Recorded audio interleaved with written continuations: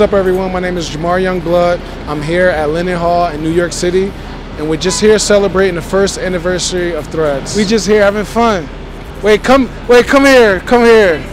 Look, we're here. Tell everybody what we're doing. We are celebrating the one year anniversary of Threads. How do you like Threads so far?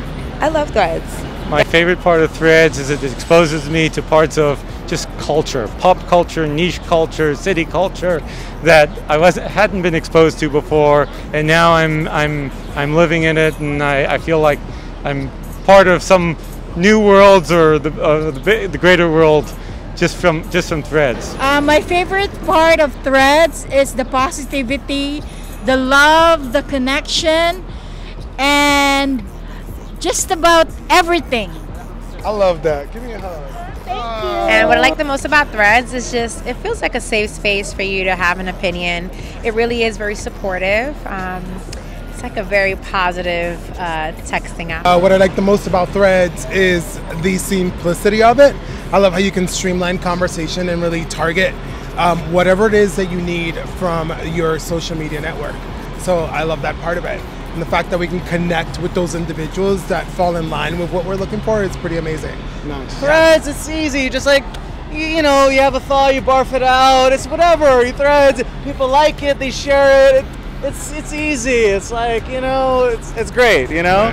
My favorite part of Threads is probably like the design and like the community that I've found there. It's you know pretty amazing.